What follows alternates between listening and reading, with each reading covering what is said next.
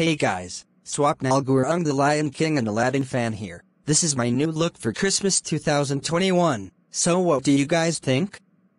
Let me know in the comments below. But please do not say mean things about my new look.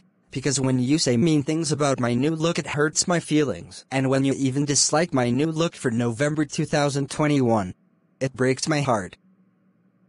And also if I see negative comments about my new look, I will seriously block and report you with no second chances. Well that's all for now this is me signing off bye.